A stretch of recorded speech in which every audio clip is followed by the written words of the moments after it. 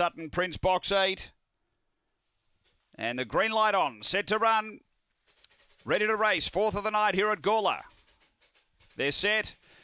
Racing, good line out. There's pace out deep. Sutton Prince is going to carve over and lead them up. So Sutton Prince led. Sky and Thunder cop little bump back in the field. Uh, through to second, two lengths away. Nikita Sky and Thunder to third, three and a half off the lead. Three away. Wayland Bale, Jalapeno Lad, and back at the tail end is Aston Judge. Down the back, Sutton Prince led. Sky and Thunder running on pretty strongly. Three away came Nikita, running to the turn. Sutton Prince a nice kick. Sky and Thunder late in a bit. It's Sutton Prince clear. Sky and Thunder tries to rally, but Sutton Prince, too good. Beat Sky and Thunder. Third home, Jalapeno Lad. Then Nikita, Wayland Bale, and Aston Judge. The time here is around uh, 30 and 70. 30 73. Sutton Prince. And uh, number eight has been able to lift and win well. Number eight first.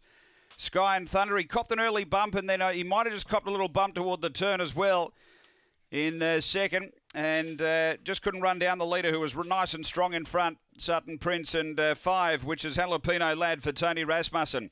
Eight, the winner, Sutton Prince, Angela Modra. Seven, Sky and Thunder for Troy Murray, second, and third to five. Jalapeno Lad for Tony Rasmussen. Two is fourth home, Nikita.